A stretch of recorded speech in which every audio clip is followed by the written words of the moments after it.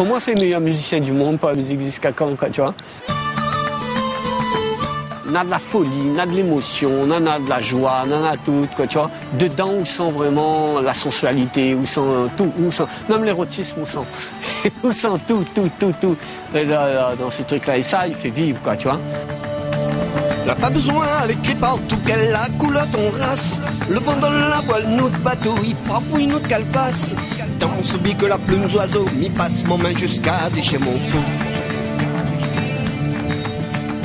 Dans mon soubi que la plume d'oiseau m'y passe mon main jusqu'à déchirer mon peau. Tout bas chemin cadencé quand quand les yeux la finiront de feuilles courent sur la peau la vie dans chaque côté canal. Car au camp des noirs la fumée, nos pieds sur la terre brûlée. carreaux quand on est noir la fumée nous pique sur la terre brûlée. Mi cri d'entrée noir, olé, olé. Mi temps, mi. Machine bateau, le vent. Oh, eh, oh, ben la musique, faut dire, bon, ben, on a toujours fait depuis toujours. J'ai toujours de la musique, mais quand, et puis, parce que bon, comme tu vois, on habitait là, le village, Grand Bois. Et donc, euh, il y avait les amis le dimanche, tout ça, qui se retrouvaient avec les... Et c'était autour d'un cahier de romance et qui ils s'échangeaient les chansons. Et les orchestres de bal étaient les... Euh, ceux qui apportaient les musiques venues de l'extérieur. Donc, on crée notre premier trio. Le premier trio expérience, quoi, tu vois, c'est avec euh, un gars qui s'appelait Jeannot Ramoun, tu vois, qui jouait chez des mocs, des boîtes de conserve, la batterie, et il est devenu batteur. Hein. Et il y avait un autre qui est de grand bois toujours, Milien Potin, tu vois, qui jouait de l'harmonica. Et moi, je jouais sur une boîte de conserve, euh, on avait mis une corde dessus, tu vois. Euh, donc, euh, mon grand-père nous comparait toujours à Louis Ravoux, un chanteur de rue qui était de grand bois dans la chanson Moins mi demande pardon, tu vois, j'ai remis ah ben, justement le nom de ce euh, vieux monsieur, Louis Ravou, que j'ai pas connu, mais j'ai tellement entendu parler de lui, lui, quoi, tu vois, on me comparait à lui, quoi, tu vois. Moi mi demande pardon, moi mi demande pardon, quand il marche sur le côté, moi mi demande pardon, de mon la société, moi mi demande pardon famille demande pas. Est né en 1979 officiellement? À cette époque, les musiciens qui aujourd'hui on voit ceux devant de la scène, il y a beaucoup de musiciens, hein. ils ne voulaient pas jouer avec nous. Hein parce qu'on était taxé d'indépendantistes, de, de rouge, et puis c'est pas de la musique qu'on fait, tu vois, il y a, encore ce conflit là, quoi, tu vois. Le gosier en raison, très bien calé, on parlait de la prostitution qui était en, montée, tu vois. On parlait du patrimoine qui était en train de, justement déjà partir, tu vois. On écrit aussi cette, société où c'est que les gens sont. Il y a le dominant et le dominé. Il y a des gens, des politiques qui ne passeront jamais à la télé à cette époque. Il y a des musiciens comme nous qui ne passeront jamais à la télé ou ne joueront jamais sur des scènes. Donc on crée nos propres lieux. Nos propres lieux, c'est chez le premier que j'ai connu, mais vraiment fort, tu vois, c'est chez le papa de Daniel Waro, de Gaston Waro, petit Georges Waro, à Trois-Morts. Et on avait des gens, de la musique, du théâtre, euh, des gens qui venaient exposer un peu leur savoir-faire, tout ça, tu vois. Et quand tu vis ces moments-là, et ça me permet de rencontrer tous les gens du Maloya, pratiquement. Donc c'est à que j'entends des gens chanter dans une euh, en créole bien sûr, beaucoup parce que tout le monde est réuni pour ça là, la langue. Mais j'entends chanter en malgache aussi. J'entends des sonorités différentes, quoi, tu vois. Et là, j'entendais dans la société réunionnaise, comme si qu'il y avait quelque chose qui se libérait, une parole qui se libérait. Loire, c'est que les le. J'étais en phase de recherche. À un moment donné, j'ai passé par différentes phases, quoi, tu vois, pour créer notre truc, quoi, tu vois. Au fil du temps, on arrive à trouver notre couleur. C'est en fonction des gens avec qui on travaille.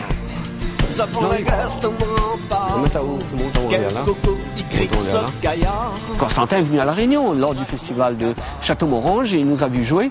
Il a dit Je suis très intéressé. Et c'est comme ça que c'est parti. Là, ma case. Mon futur lieu de spectacle? On est le podium euh, aujourd'hui pour pouvoir utiliser très très très bientôt pour le sac qu'il faut au moins pour le sac qu'il faut faire une pièce acoustique un peu et puis l'extérieur sera plus euh, bah, un peu boum boum un peu plus rock bah, c'est un lieu d'expo aussi parce qu'on a des jeunes qui viennent exposer de la peinture on en a quoi encore? Peinture, lieu où c'est qu'on a la danse, hein, tu vois. L'avantage, c'est que les indépendants total, mais bon, on espère que trouver des mécènes, trouver des gens, tu vois, des gens intéressés par euh, ce genre d'expérience, tu vois. On n'a pas envie de travailler seulement avec quelqu'un, tu vois, une équipe, mais plusieurs équipes pour développer au niveau, niveau artistique, au niveau des jeunes, quand tu vois, surtout des jeunes, parce que nous, nous a fait notre histoire, quoi, hein. 30 ans d'histoire, mais recommence, oui, mais nous fait, nous a fait quand même notre histoire.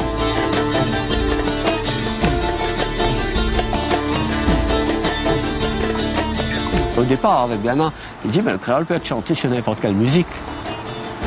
Vois Nous, c'est pas forcément Maloya ou Sega, nous. Fait fond les yeux, un forme gypsy. Moi, t'es en plein son lac sacré. Moi, t'es défile dans son voyage.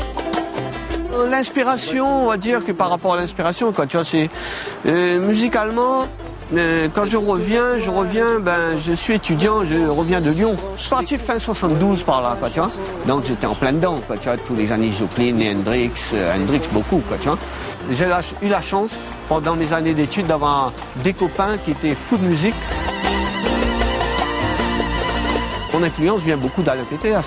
Euh, dans, parce que c'est un gars qui vient du milieu de la pop, tu vois, de la variété aussi. Et il y a cette pop musique, il y a tout ce côté folk que je, dans tous les festivals inconsciemment, c'est sûr, ça reste dans la tête, quoi, tu vois. Dans son histoire, dans son silence.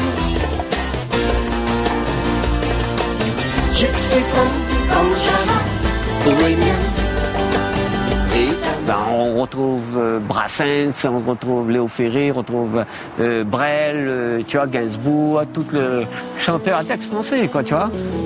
Avant on a débarqué, maladie ni fou, ni def nos cheveux, ni éclairci notre peau.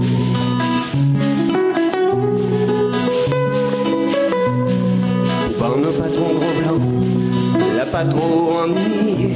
Oh la France, oh la France,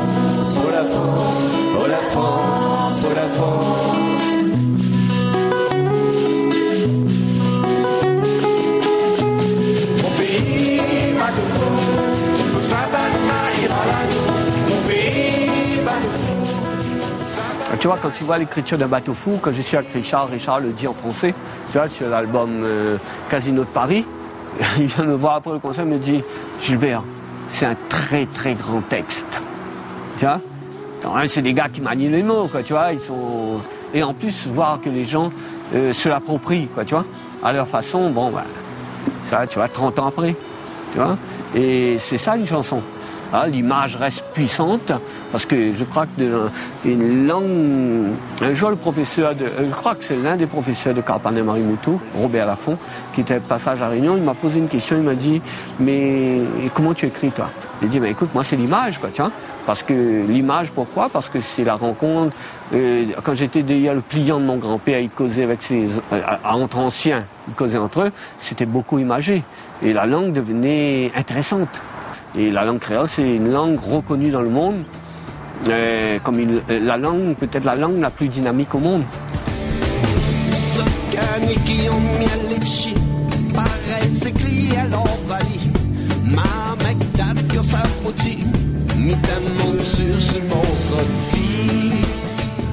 Ce clip, je pense que ça peut donner envie aux gens de voyager aussi. Bon, on l'a fait en une, une journée, une nuit. Tu vois, avec tous les inconvénients, avec toute, toute la folie autour, avec toute la rencontre avec les gens. Tu vois, dans tous les escales, le train qui déraille, et ainsi de suite. hein, et puis la rencontre causée avec les gens, quoi, tu vois. Faut que les gens t'ouvrent leurs portes, t'ouvrent le cœur, te racontent plein de choses, quoi, tu vois. Et coule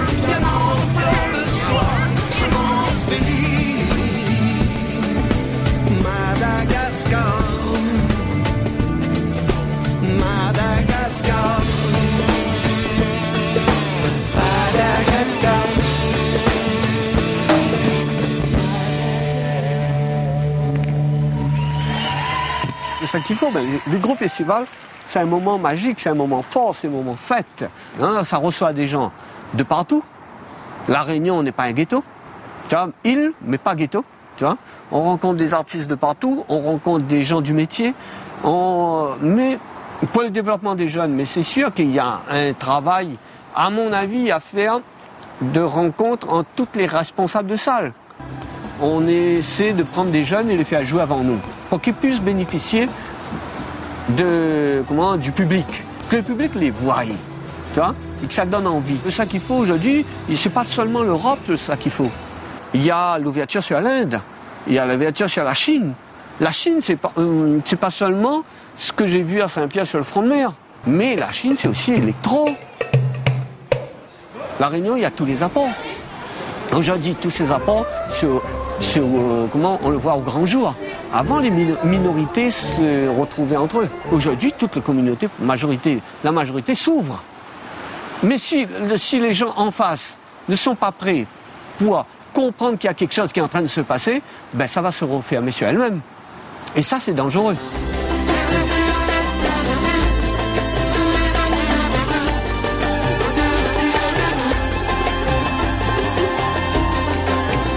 Jusqu'à quand, à travers ces musiciens, à travers tous les gens, tu vois, qui travaillent dedans bénévolement, tout ça, ils défendent un métier, ils défendent une culture, ils veulent promouvoir une culture, ils veulent que cette culture, il peut aller à la rencontre de toutes les autres cultures, tu vois, ça, ça, fait mange à lui, et puis que ce lieu est vraiment, vraiment reconnu. Donc, il faut faire connaître à pour être reconnu. Tu vois et ça, c'est de France Fanon, pas de moi. Hein.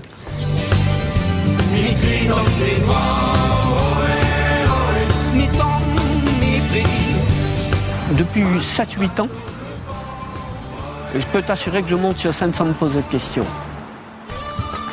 Mais il faut dire aussi que les musiciens qui sont arrivés dans le groupe, depuis 7-8 ans, c'est des gens qui ont envie vraiment de partir avec cette musique. ils ont vu l'engouement quand on joue à l'extérieur. Ben, n'importe qui, n'importe où se retrouve dedans. Tu vois, c'est ça. Et puis, il y a cet apport de tambour, de tabla, tu vois, de rouleurs, de tabla et de caillantes la batterie, tout ça, les gens connaissent, mais ces sonorités qui donnent, tu vois, cette couleur, et ça, cette équipe que j'ai depuis quelques années, ils l'ont compris. C'est pour ça que je dis qu'aujourd'hui, peut-être que je vais pouvoir vivre de mon vivant, quoi, tu vois, euh, ces beaux moments, parce que là, il y a l'équipe pour pouvoir jouer n'importe où, n'importe quand. Et avant n'importe qui, après n'importe qui. Tu vois, il y a tout. Il y a tout, tout réuni, et moi, je suis en confiance.